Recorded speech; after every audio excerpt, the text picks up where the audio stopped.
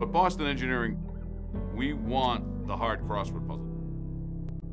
Right? Nobody wants to work on an easy crossword puzzle. You want to work on a tough problem. At Boston Engineering, we believe we innovate the future. We're solving problems that seem to be unsolvable. There's nothing like it in the world.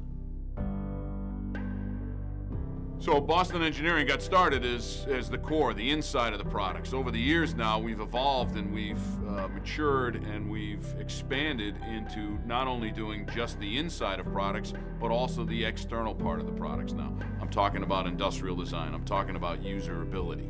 I'm talking about human factors. Customers come to us because they want to go to one place where the resources are all uh, in-house uh, that can be applied to the development of a system level solution uh, that meets market demand. In our team, we have folks with many different backgrounds uh, coming from many different industries, and so we're able to uh, draw on uh, the variety of talents that they have to put together uh, teams that are appropriate for each customer's project. We built a company that allows us to tap into the entrepreneurial energy that our people have.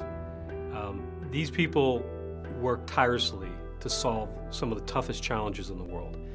Uh, it's not about a nine to five job for them. We've been doing this a long time, and I've never heard an engineer say it can't be done.